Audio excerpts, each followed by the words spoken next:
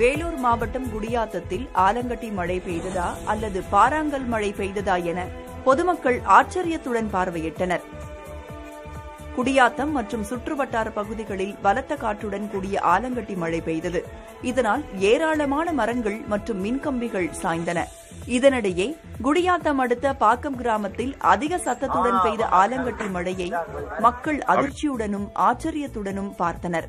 இதுவரை இதுபோன்ற மழையை பார்த்ததில்லை என அந்த கிராமவாசிகள் தெரிவிக்கின்றனர்.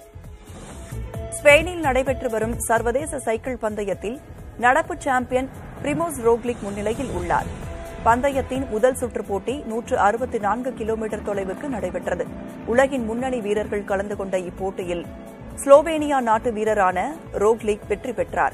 அடுத்தடுத்த சுற்றுகளில் வெற்றி பெறும் பட்சத்தில் மீண்டும் ஒட்டுமொத்த சாம்பியன் பட்டத்தை கைப்பற்றுவார் என்று எதிர்பார்க்கப்படுகிறது.